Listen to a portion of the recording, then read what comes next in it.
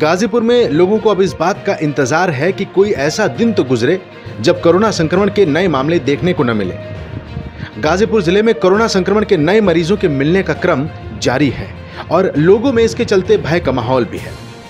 मंगलवार को गाजीपुर में एक बार फिर कोरोना संक्रमण के पाँच नए मामले देखने को मिले हैं। आज मिले पाँच मरीजों में से गाजीपुर में अब तक कोरोना के कुल मरीजों की संख्या 332 हो गई है। हालाँकि इसमें से दो सौ नवासी मरीज़ ठीक भी हो चुके हैं।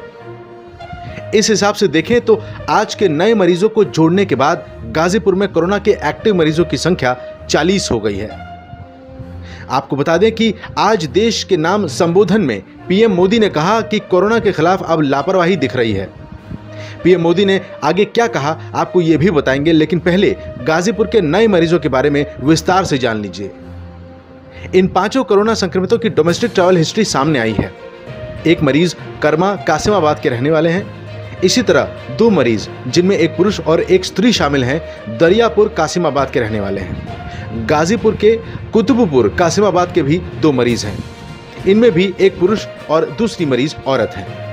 बता दें कि कोरोना के देशव्यापी बढ़ रहे मामलों के बीच पीएम मोदी ने भी आज इसी विषय पर देश को संबोधित किया है।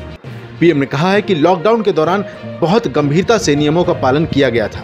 अब सरकारों को, स्थानीय निकाय की संस्थाओं को, देश के नागरिकों को फिर से उसी तरह की सतर्कता दिखाने की ज़रूरत है। पीएम ने आगे कहा कि विशेषकर कंटेनमेंट जोन्स पर हमें बहुत ध्यान देना होगा।